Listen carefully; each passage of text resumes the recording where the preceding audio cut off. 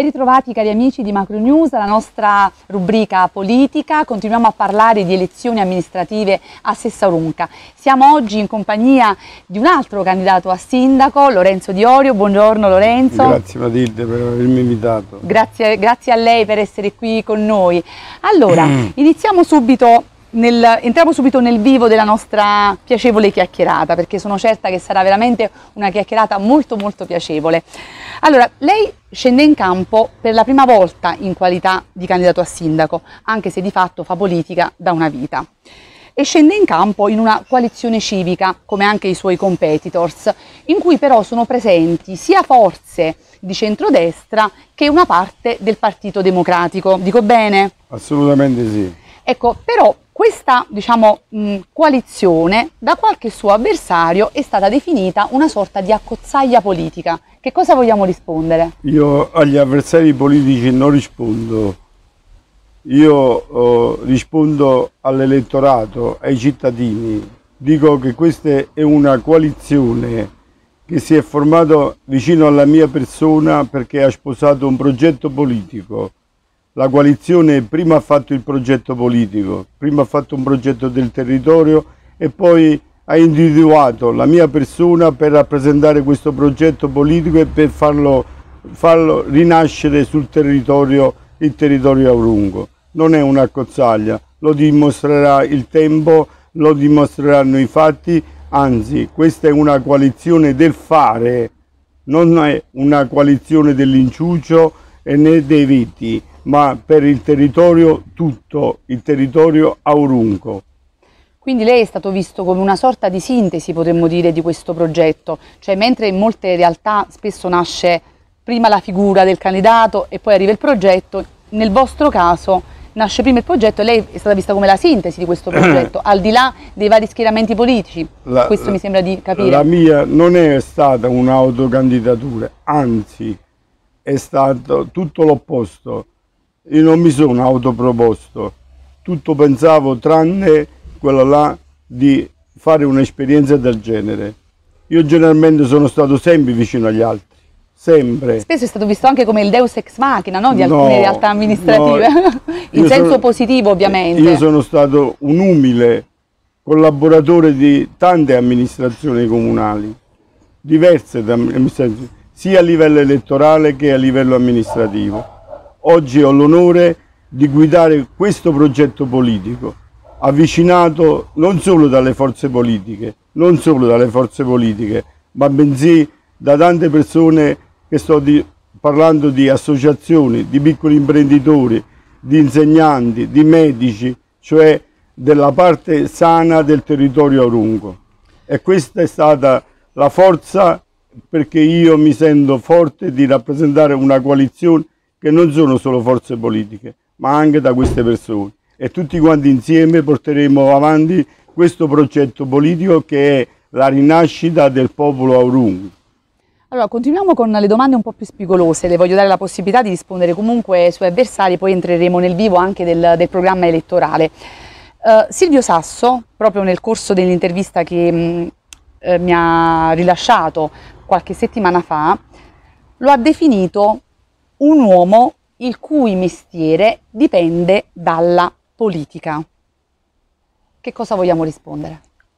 Io ovviamente, come le dicevo prima, non rispondo ai miei avversari politici, però posso dire che una cosa è certa, che ognuno di noi ha una storia, ha la storia privata per il ruolo che ha svolto nella sua vita privata io ho creato aziende, ho creato aziende per almeno 200 posti di lavoro nella mia attività privata e la mia storia privata. E poi ho fatto l'amministratore in maniera marginale perché non ho fatto mai il sindaco.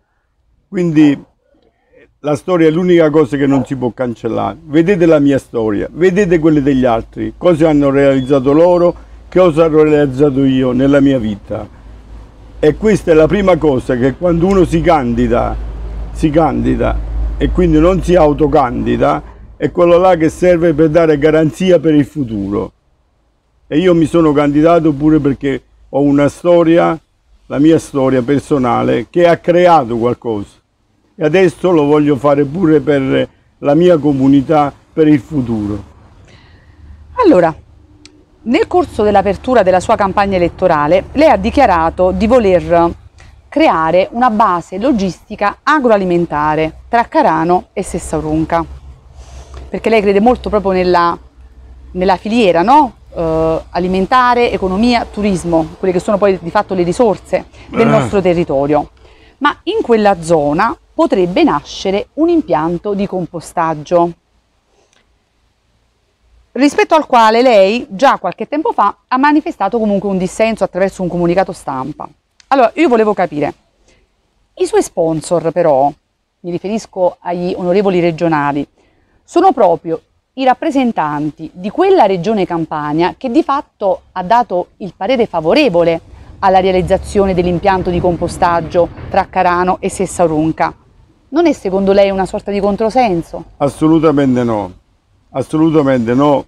Poi eh, la filiera e la, la base logistica che intendo realizzare nel territorio, semmai ne parliamo po- dopo, Certo. ma perché è un- è, uno dei punti fondamentali del mio programma elettorale, del nostro programma elettorale. Per quanto riguarda questo, questo- in particolare il sito che si voleva fare, perché si voleva fare, non lo facciamo fare, non esiste. Quando l'amministrazione comunale dice di no è no, non ci sarà né filiera regionale, nazionale o chiunque, non si realizzerà stessa perché l'amministrazione di Orio non permetterà a nessuno, a nessuno di realizzare sul mio territorio, sul nostro territorio, uno scempio del genere.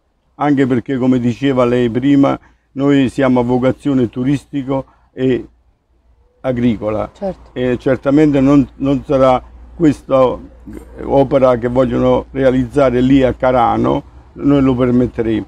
La per quanto riguarda sia la regione, Sì. che io ho interloquito pure con loro in questa cosa, loro non permetteranno questa cosa, non- assolutamente no, sono stati gli uffici regionali che stavano attivando quella cosa. Perfetto. No- non è un atto di programmazione della Regione Campania, assolutamente no. Sia Oliviero che Zannini sia e Grimaldi ovviamente sono contrari e sposeranno qualsiasi causa del territorio aurungo e dell'amministrazione comunale, che loro sono l'amministrazione anche comunale di Sessa Aurungo, sono parte integrante, non è una filiera tanto per, ma loro saranno parti integranti della filiera con il comune di Sessa Aurungo e con la nostra amministrazione comunale. Quindi non considereremo a niente e a nessuno una cosa del genere.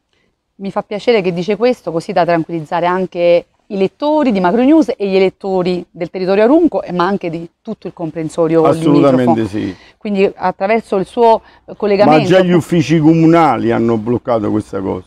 Già gli uffici comunali hanno mandato una pecca alla regione che hanno sospeso l'iter che era stato avviato il 4 di agosto. Ma questo iter non è nato a caso. Leggetevi le carte. Può dire qualcosa in più? Perché Assolutamente, mi, la- non mi parlo- lascia questo dubbio. Io non parlo mai degli altri, io parlo sempre della storia. La storia è l'unica cosa che non si cancella. Ma queste carte dove dobbiamo andarle a leggere? Al comune di Sessarunca? Alla, alla regione? Sia alla Ci dia un regio- indizio magari? Sia alla regione che al comune. Va bene, va bene. Approfondiremo l'argomento sicuramente magari anche all'indomani della, della campagna elettorale. Eh, lei ci teneva a parlare appunto della, della filiera eh, anche istituzionale, no? Che vuole in qualche modo concretizzare e dei progetti prioritari previsti nel suo programma elettorale. So che lei ci tiene particolarmente a- a- ad elencarli. Io ho il mio obiettivo dalla, no- mio, dalla nostra amministrazione comunale, del nostro programma elettorale, è quello là di creare occupazione, creare occupazione, perché noi eh, eravamo il settimo comune della provincia di Caserta, eravamo un comune di 25.000 abitanti, questo lo, lo so perché ho iniziato a fare l'amministratore comunale nel 1997 e allora avevamo 25.000 abitanti. In questi giorni, eh, parlando con gli uffici comunali, perché noi, io sto già parlando con gli uffici comunali e per questo già li ringrazio che loro stanno già collaborando in maniera attiva, fattiva, si stanno già rimboccandosi le maniche e ho saputo che siamo arrivati a 20.000 abitanti. Questo decremento demografico è dovuto soprattutto alla mancanza di occupazione, cioè i nostri giovani, i figli nostri, sono andati via, stanno andando via. Allora un'amministrazione seria, seria, quella del fare, non quella degli ingiuci o dei pettegolezzi, quello là che dice domani lo facciamo domani. No, noi dobbiamo creare occupazione e l'occupazione si crea portando fuori le nostre risorse naturali che sono l'agricoltura e il turismo.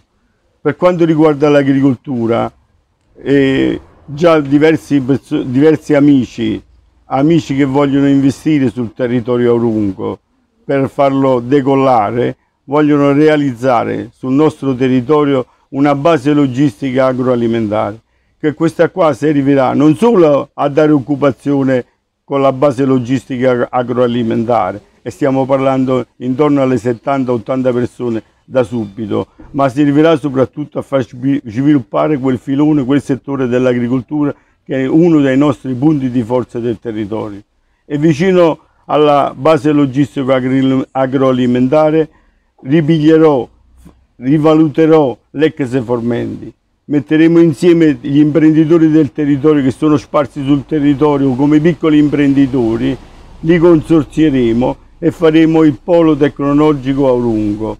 Io già sto parlando con il commissario Firmanò, sto parlando già con le banche e faremo un consorzio dove il comune sarà la parte fondamentale ma insieme alle banche, insieme agli imprenditori e anche quella parte rivaluteremo e daremo occupazione e poi è chiaro che la parte importante sarà il comune, sarà l'azienda comune e anche lì faremo occupazione perché il comune di Sessa, e sto parlando sempre della storia, era un comune di intorno alle 200 persone che lavoravano al comune, oggi siamo intorno alle 100 persone e quindi dobbiamo ripigliare occupazione anche attraverso il comune. E quindi io farò, farò i concorsi per assumere negli arco di 5 anni perché la pianta, organica, la pianta organica ce lo consente, almeno altre 70 persone. E allora così, voglio dire, bloccheremo questa emorragia di giovani e faremo almeno complessivamente tra il pubblico e il privato almeno 250 assunzioni. È inutile dire che ripiglierò anche il rapporto con le imprese locali. Quando io ho fatto l'assessore con Tommasino, lavoravo, Gino Tommasino, mio amico, sindaco di qualche amministrazione fa, lavoravano 40 imprese locali, 40. Oggi ho saputo che ne lavorano tre imprese locali perché l'amministrazione non produce atti, allora un'amministrazione che vuole lavorare, che vuole dare lavoro, non è quella là di fare i comunicati stampa, ma quella che deve produrre atti amministrativi. E gli atti amministrativi che creano lavoro e quindi le piccole imprese avranno modo di lavorare. E quindi ci saranno operai, ci saranno i magazzini edili che lavoreranno, cioè una filiera di creare lavoro. E l'amministrazione deve andare avanti, deve essere la prima a creare lavoro. Lei sta parlando molto di lavoro, di occupazione e sicuramente... Ah, poi volevo, è chiaro, mi scusi, sì. eh, un'altra cosa importante è che la filiera che lei parlava prima, la filiera va utilizzata per il territorio, va utilizzata per, per il territorio, eh, perché quando la regione, il governo legifera, non è che legifera a caso, legifera per far pigliare opportunità sul territorio. Io una delle opportunità che piglierò, che coinvolgerò sarà per gli operai ex Formenti e ex Morteo. Lì faremo come amministrazione comunale, come amministrazione dei progetti, dei programmi per utilizzare questi nostri concittadini per accompagnarli pure alla, alla pensione, ma non solo per accompagnarli, ma per dare eh, ai servizi pubblici locali dei, dei, progetti per migliorare la qualità della vita e li utilizzeremo attraverso la regione e il governo. Governo. Tanto è vero che sto già parlando con gli organi regionali e con gli organi governativi per fare dei progetti ad hoc e tutte queste cose che sto dicendo non ne ha niente con il, con il bilancio comunale, non c'entra il bilancio comunale, è solo sono atti amministrativi che, la, che il, un comune serio, un'amministrazione seria deve, deve portare avanti. Lei, come stavo dicendo prima, sta toccando un nervo scoperto della nostra realtà, che è quello appunto della piaga occupazionale. Bellissimo, bellissime le sue parole, sicuramente convincenti, però non ha il timore di alimentare troppo delle speranze tra i giovani. Lei si sente in coscienza di poter poi attuare tutto quello che sta dicendo? Chi mi conosce sa che io non faccio promesse. Io quando piglio un impegno è un impegno che eh, ho la presunzione di mantenere. Io sto in campagna elettorale. Ho 100... E qualcuno potrebbe dirle questo. Non è, me, utilizzare... infatti, eh, infatti non è una promessa elettorale, è un impegno. E chi mi conosce sa, sempre la storia, a me non ci sarà mai un cittadino che potrà dire mi ha detto una cosa e non l'ha fatta. Io generalmente, per mio costume, per mio carattere e perché sono figlio di contadino, generalmente mi impegno al di sotto di quello che posso realmente fare. E se queste cose che stiamo dicendo insieme stasera vuol dire che le realizzeremo, non ci saranno ostacoli che ci possono bloccare, non ce ne saranno, no. Bene, bene. Allora, ritorno a fare l'antipatica. La, Cosa pensa dei suoi avversari? Oh. No, non mi dica che però non parla dei suoi, no, dei suoi avversari. No. Non ne dobbiamo parlare male, Assoluta, ne può anche parlare no, bene. Assolutamente no. Io, un'opinione, il fatto di trovarsi di fronte a Silvio Sasso, eh, Antonio Fusco, io, sul piano politico ovviamente non personale. No, no, ognuno, ognuno, l'ho detto prima, mi ripeto, ha una sua storia. Io ho la mia storia, loro avranno la, la loro storia, voglio dire, io voglio dire ai miei cittadini, ai miei cittadini quello che io realmente voglio fare, quello che voglio fare per loro. A me non mi è mai interessato degli altri, a me mi interessa il mio territorio, i, i cittadini e i cittadini devono sapere qual è il mio progetto politico, ma non solo il mio progetto, il, il progetto politico della coalizione che mi sostiene e questo progetto politico è nato dal, dal basso, dalla base, dal cittadino, quel programma elettorale, quel programma elettorale per me, per noi, per la nostra coalizione sarà la nostra Bibbia.